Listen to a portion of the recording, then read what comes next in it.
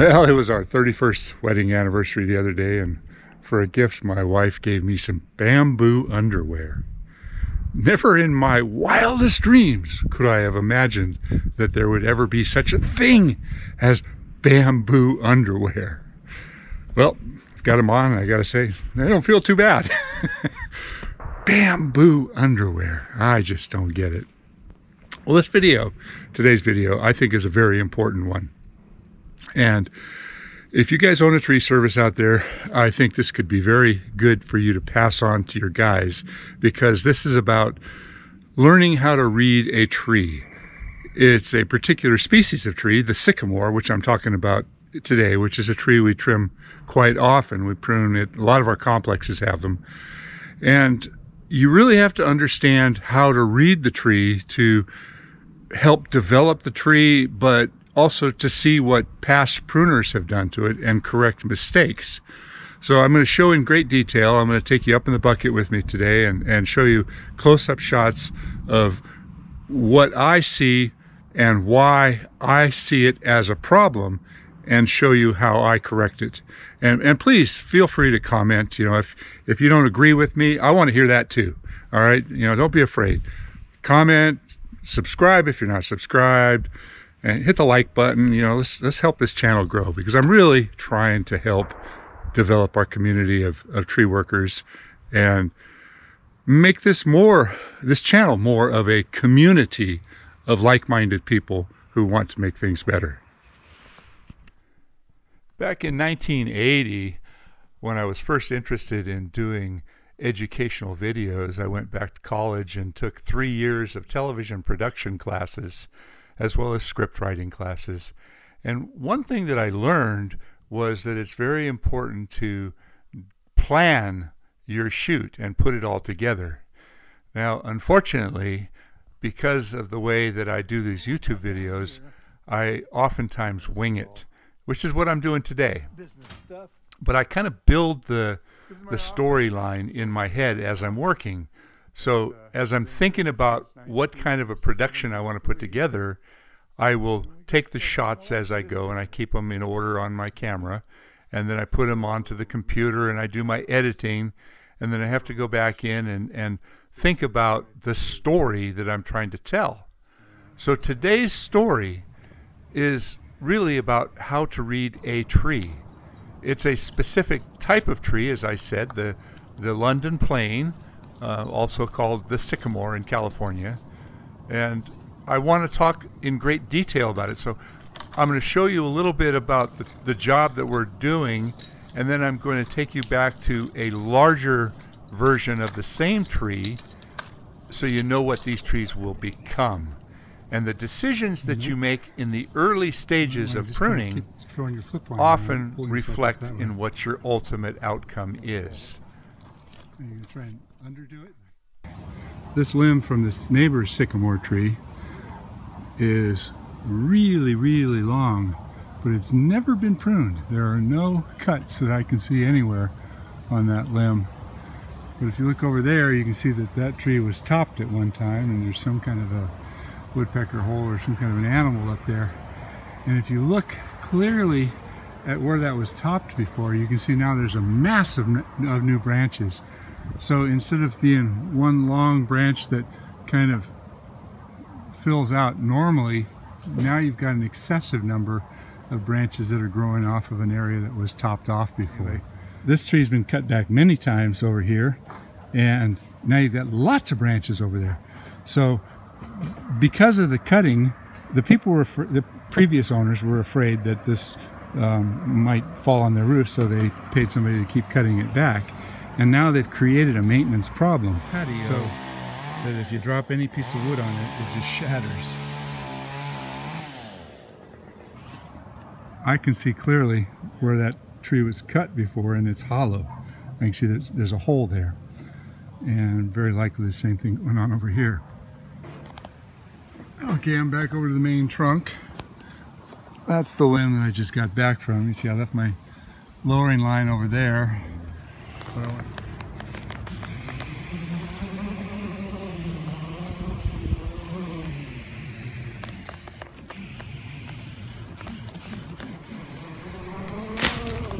Nothing wrong with old school techniques to get the job done. What? Where are your Nothing wrong with SRT. But I'm not going to talk about climbing today. I'm going to talk about the trees. And as you can see, one of the problems with this particular species of tree is that the dead branches just pop off. And if you're in a complex like we are here, a lot of people and children are playing under these trees, so the liability becomes a big part of the issue. Not only the liability, but you have to think about the future growth of these trees. If you continually come in and do improper pruning, then these trees are going to become maintenance nightmares or very unsafe. So in the case of these Platanus acerifolias, the sycamores, we I went out and I did a job earlier that day on another tree in another location, and interestingly, these seed pods were just exploding. Very, very different from what we were finding in the complex that we were working in. So in direct contrast to that other sycamore, I went to the job that we had on hand, and I was checking out these seed pods, and as you can see, they are not coming apart nearly as quickly. So I, asked, I had to ask myself why. You know, they are breaking up, but is it a seasonal change in a different area? Is it a different cultivar that maybe these seed pods break up a little bit later? But I want you to look at this. We're chipping all of these hard seed pods, and you can see what they're exploding into. I got kind of irritated with Eric there. I told him, I said, you've got to put on a mask. That is not healthy at all. So let's get back up into the trees. I'm using the GoPro camera here with the wide angle lens, so it kind of distorts everything, but it does give you a better overview of the trees that we're working on. And, and a lot of these trees don't look like they need very much work. And I wanted to show you this is one that I've just finished. So it's still got a fairly natural framework to it. Some places I had to cut them back to the old cuts that someone else made, leaving a small continuation branch. Now, a lot of you might look at these trees and say, oh, that tree doesn't look like it needs anything at all. That's the problem because of the way that these trees have been pruned in the past, there are a lot of things that are developing, a lot of problems that are developing, a lot of areas up in the tree where we're having multiples. These are examples of finished trees. Now I wanted to show you a little bit about what I'm finding up in the air. Now a lot of our work is in these types of homeowner condominium townhouse association projects where there's building upon building upon building and the original developers want the place to look nice. So they choose trees that are going to fit but a lot of times the choices of trees that they put in here grow far too large. So their way of managing these trees is to continuously cut them back so they're not growing into the buildings which perpetuates the problem it creates a high maintenance long-term need for doing pruning. And the real irony of this is that if these were, trees were planted in an area that didn't have the confines of buildings to deal with and walkways and, and infrastructure, you wouldn't have to prune them at all. You could just leave them naturalized. They'd become big, beautiful, wide spreading trees. They're park trees. They belong along creeks. They belong in wide open areas. All right, so back to the chipping here again. You can see that Eric's got his mask on now. Sorry, Eric, but I'm just looking out for your health. Which gets back to one of the things about this particular tree that is so irritating. There are different aspects of it, from the seed pods to the fuzz under the leaves that makes it very difficult to work on if you do it at the wrong time of the year. I think we're at the very end of the best time to do this because just as I identified these seed pods are ready to break open, had we done this, say, three or four weeks ago, I think all these seed pods would have been much, much harder and not been as volatile. So let's get up in the tree. This is where somebody stubbed this off. It was just a, a stub cut. And now you have four big branches and one small branch coming off that old stub cut. Now a sycamore tree, or a plane tree, is quick to absorb these old wounds. Look at that little one there. And these old wounds, you'll get all this active cambium tissue that grows up and completely encapsulates these wounds. But not always. In this case, you can see that there's plenty of tissue that is grown all the way up and around it and has absorbed this wound. Now you can see where I have cut and pruned this tree to get it back to a more natural type of a framework. You can see now there's just two on this one end cut and I've taken some weight off. I've thinned it out. I've opened it up. I've I've pruned it in such a way that I'm trying to retain the terminal buds on at least one section of this area for each area that I'm pruning. So this is a topped off branch and it had multiples that, kept, that were on there. Here's another one and you can see some of them got pinched off and they're they're dead. So that one's dead and the one behind me is dead. It was a little bit tougher to break that one off, but as they dry, they will just drop out of the trees.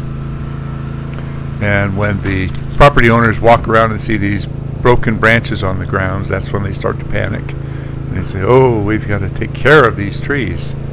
Well, unfortunately, because of what has been done to these trees repeatedly for such a long time, the maintenance increases annually. Every year or every couple of years, you've got to get up here and do some corrective pruning to keep them away from the buildings, keep them a little bit lighter, Here's where one of my guys made some pruning cuts from the ground with a pole pruner, and I was pretty irritated when I saw this. So I'm going in here and I'm cleaning up his mistakes. You know, that's a big problem, and I'm not afraid to show it, but most tree trimming companies, that's how I pruned it and cleaned it up there, most tree pruning companies see these jobs as production work.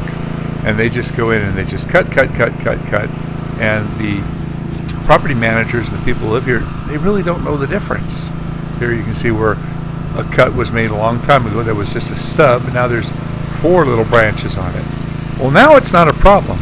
If you don't do anything about it in five years' time, the weight that is going to be associated with this one branch will lead to a failure. So the pruning, unless it's done properly, will cause limb failure. It's ironic because we're trying to take care of these trees, but in doing so, if you get the wrong type of pruning in here, you're just creating more work for yourself, a much more expensive tree to maintain, and it doesn't develop the way it's supposed to develop. You see I've got a fairly sharp pair of hand pruners there, secateurs, as they're called some places. And you can do a lot of work with hand pruners up in these trees. You can, get, you can take cuts quite often, depending upon the wood. I'll take them up to an inch or an inch and a half in diameter, and the rest of it I do with hand pruners. Occasionally I'll clean them up with a, with a chainsaw. There's more bad cuts on this same tree. He just walked around with a pole pruner and reached up and went bam, bam, bam, bam, bam. And what can I say? Here's an old cut. You can see where it's been broken off and it's branched out into two. There you can see where the branch comes up and does a quick convergence into a different direction. There's an old cut down there that has been absorbed. And if you look further down the branch, you can see that they don't always completely seal up. And look at that one. So when you say there's rules about trees, you can say quite often this will happen, but in the same breath, quite often these pruning wounds will lead to pretty serious weaknesses and decay pockets and, and drying out and, and dead branches. So the pruning that you do, here's what I what this tree looks like when it's all done. It still looks pretty good, and um, I, I wish I had some images of what it looks like when it's finished. You can see all the branches on the ground here. This was a tree that um, one of my guys pruned and said, "Okay, it's done," and walked away. And I went over to it and I said, "No, that's not done." And I went back up there and did some more work. So there's lots and lots of these sycamores in this project, and for you Brits out there, I'm sorry. I, you know, you call the sycamore and uh, a maple. We don't call it over here in the states. So here's an area where there was a bad cut, and then somebody came along, and cut again, and cut again, and and many times over the years it was cut back to stubs, and it's it's almost creating like a, a pollarded type nodule. I'm sure there's a term for that. I can't remember what it is though. But um, there, that's after I've pruned it. So I hope you found this video helpful and educational, and you can better learn how to read a tree so you can make the correct decisions when you do the pruning.